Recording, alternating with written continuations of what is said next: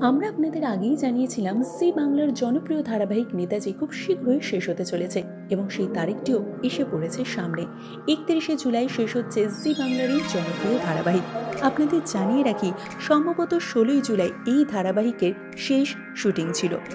আমরা প্রত্যেকেই জানি এতদিন দর্শক কুল নেতাজি বলে মনে প্রাণে যাকে বিশ্বাস করে এসেছেন, সেই অভিষেক বসু এই চরিত্রের সাথে কতটা ওতপ্রোতভাবে নিজেকে জড়িয়ে রেখেছিলেন।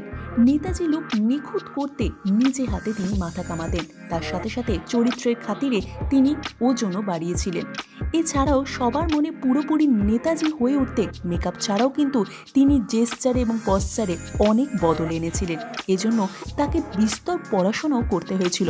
ছিল সাথে চাপা টেনশনও কারণ নেতাজি যে আজও বাংলা ও বাঙালির আত্মার আত্মীয়, তাই চরিত্র না হয়ে উঠতে পারলে একজনও ছেড়ে কথা বলবেন না।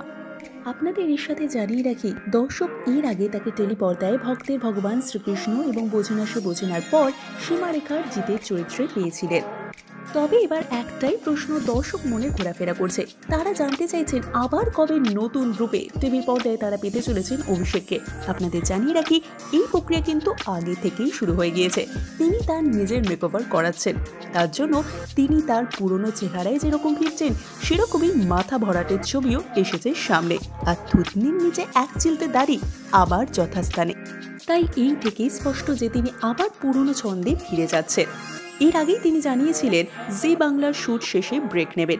আর আপাতত সেই মোডেই দেখা যাচ্ছে, নেতাজির চরিত্রে অসাধারণ অভিনয় করে দর্শকদের মনে পাকাপাকিভাবে স্থান করে নেওয়া অভিষেক বসুকে। এই ধারাবাহিক নিয়ে আপনাদের কি মত? কমেন্ট করে জানিয়ে দিন আমাদের চ্যানেলে এবং লাইক শেয়ার ও সাবস্ক্রাইব করতে ভুলবেন না বন্ধুরা।